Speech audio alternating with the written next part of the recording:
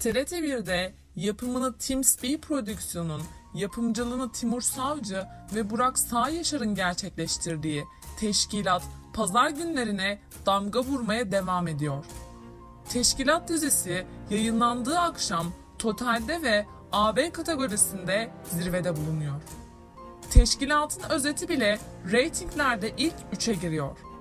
Çağlar Ertuğrul, Deniz Baysal Yurtçu, Mesut Akusta ve Ezgi Eyüboğlu gibi isimlerin oynadığı dizi için önemli bir karar alındı.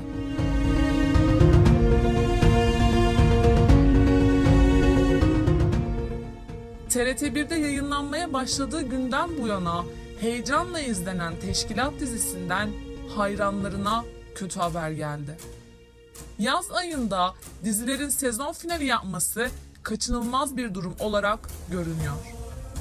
Teşkilat dizisinin sezon finali tarihi belli oldu.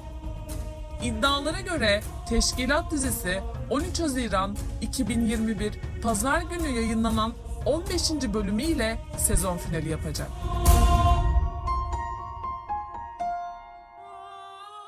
Yaz tatiline girecek olan dizi 2 ay boyunca izleyicisinden uzak kalacak.